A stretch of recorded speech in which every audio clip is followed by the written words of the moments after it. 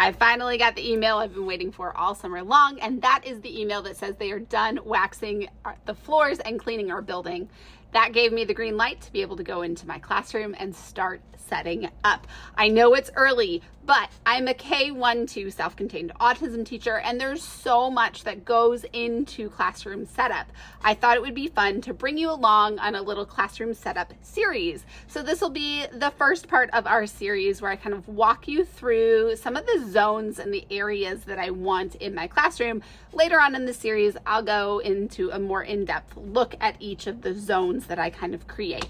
But today I just kind of want to walk you through my classroom, my space, and the thought process behind some of the areas and the zones that I've created. So let's get started. All right, on to zones. I call them zones, other people might call them areas or centers. It's all one and the same, so don't get confused there.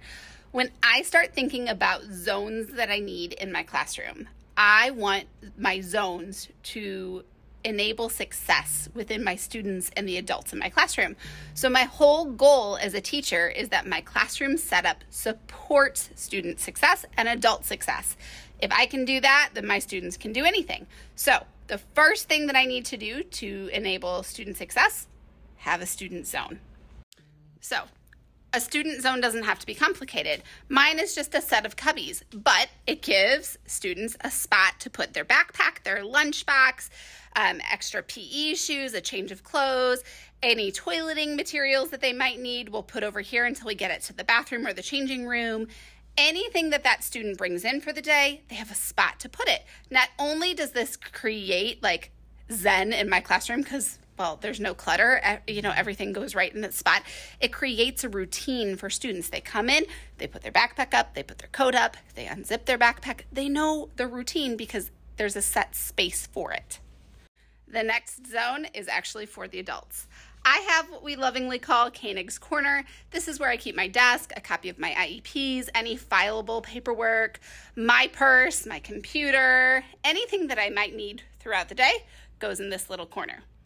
Nothing surprising over there. However, I've created a similar space for my assistants. Let me show you.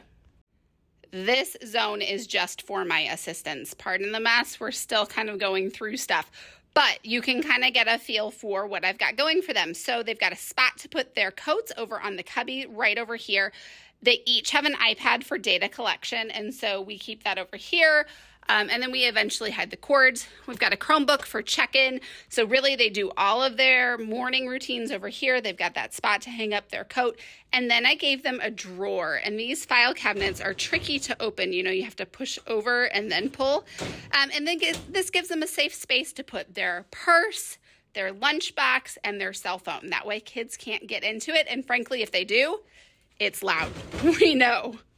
The next two zones are the tech zone and the communication zone, and they happen to be right next to each other. I use a rainbow cart for my technology zone. We use iPads in my classroom and we are one to one. So I need a charging spot for those and then also a spot to house things like splitters, headphones, cords, those kind of things. I always keep extra cables around because, well, my students mostly use AACs and every student uses an iPad um, with an app for an AAC.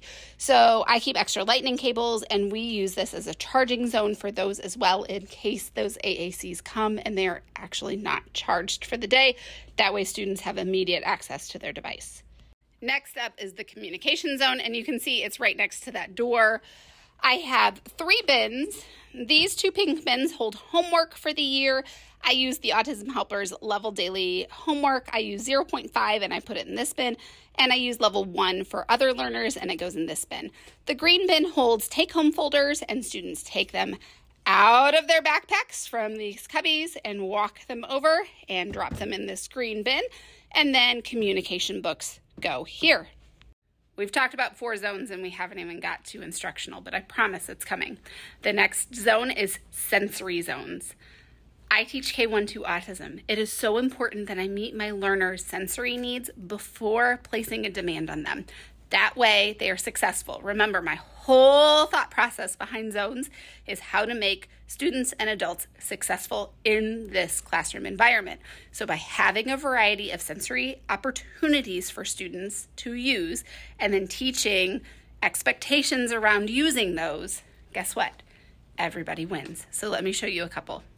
I have a giant clear sensory bin, which I absolutely love. It's on wheels. We take this outside we use it inside. I've got a rug underneath that um, absorbs water in case we've got a liquid in there. But this is a huge win when it comes to sensory. This one's a little bit trickier to see just because there's so much junk on top of it. But this is a light table that my husband and I built. This provides such great sensory input. Love the visual input that this gives. Um, we just used leftover scrap wood. I bought a piece of plexiglass to go on top and then I sprayed it with opaque spray and then put LED lights in there so I can control it with a remote or the kids can control it and they think that's the coolest thing. My students learn in three different ways. Whole group, so I have a carpet right in front of the Promethean board. Small group, so I have tables where we meet as a small group and one to one. And so for one to one instruction, I have these little learning cubbies. What I love about these is that you have plenty of egress. You can walk in and out with ease, but it kind of blocks the distraction of the classroom. If your classroom is like mine, it is a revolving door. I have so many adults and so many kids in and out of my classroom. Sometimes it's hard for kids to focus. So when I need a kid to focus in a one-to-one environment, this is where we go. Last zone is independent work. And if this shelf looks familiar to you, it's probably because you watched the video all on independent work in my classroom. I created a whole video on how I manage it, how I select activities, and um, how my students utilize this space in my classroom. So it's definitely worth a watch. We will link it for you down below. There you go, seven zones in my classroom, and I love them each, and they each serve such an important role in student and adult success. Really, that's what it's all about. I think so many people underestimate the amount of time and energy and thought that goes into classroom setup. Really, a successful classroom is all about classroom setup and how we set those kids and those adults up for success. And in order to do that, it takes time and energy. Um, and it's not about decor. You know, that's kind of the icing on the cake for me. I would rather have the stuff in place to make kids and adults successful first, and then you can decorate and you can work on your theme for your year. Um, for me, it's much more about functionality. So that's what I want you to think of when you walk into your classroom and you've got four blank walls. Don't worry, don't run out and buy all the stuff. Just focus on function first. Not only will I be covering those seven zones in the upcoming weeks, but I'm going to be talking about classroom basics as well. Things like schedules and managing schedules, um, organization of classrooms, visuals and management of visuals, AAC usage within the classroom, um, or organization of curriculum and picking curriculum and finding curriculum, all of these things that go into running a successful autism classroom.